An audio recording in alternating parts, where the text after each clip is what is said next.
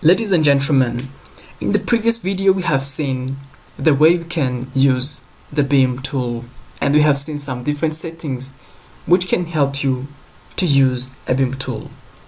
But now we are going to see a wonderful tool which is called a slab tool and see some different settings and its application on a house. Let's move on. I come here in the toolbox and I select tool which is called slab. In the slab there is a geometry and positioning.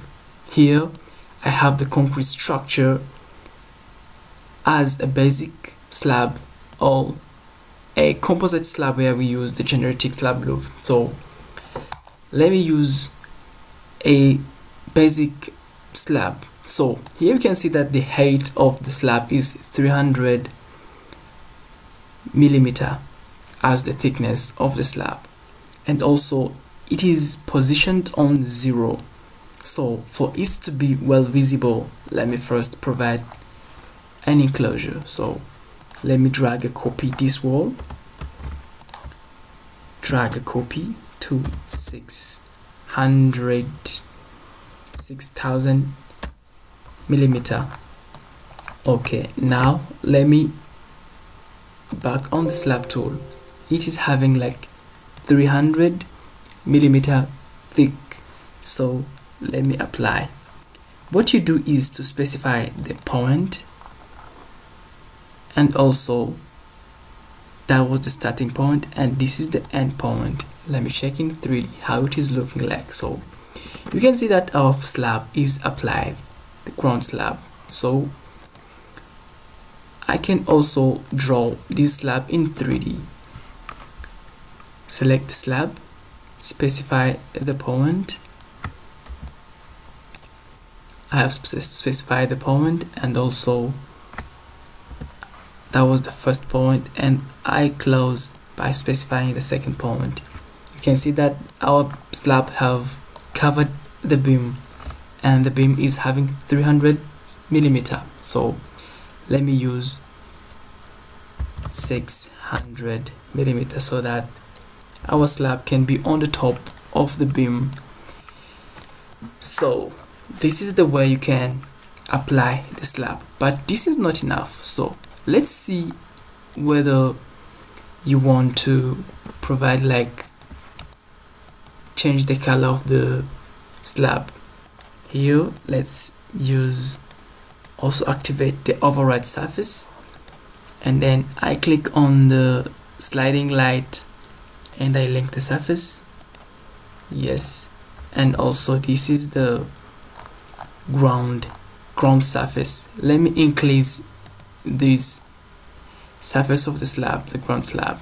I have to use this tool and I do what we call offset all edge like I offset on the 1000 millimeter which is equal to 1 meter. So this is the way I can offset the slab.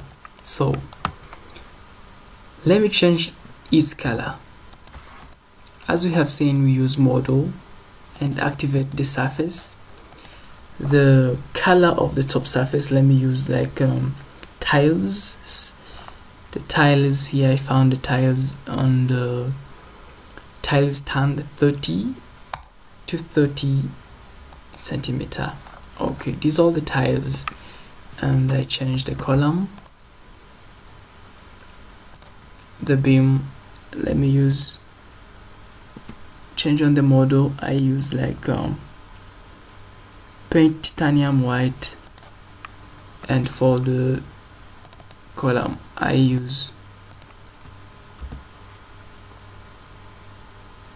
let me choose the color which is also tone sliding or I use um, also paint titanium white. So for having a great appearance and also for the slab I use the the same color. But I mean the top slab only. Uh, paint titanium white. Okay. For the wall I can use the brick red for the wall I can use the brick red yes. Okay now we have our slab on the top of this.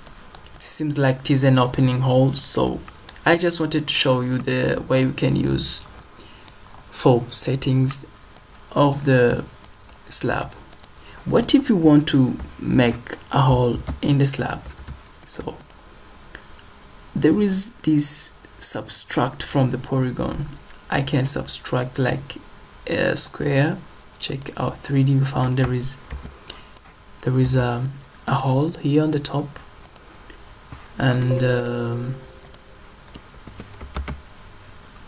I can also subscribe I can also subtract uh, this slab by providing here on the geometry method and I use the shape that it is not square.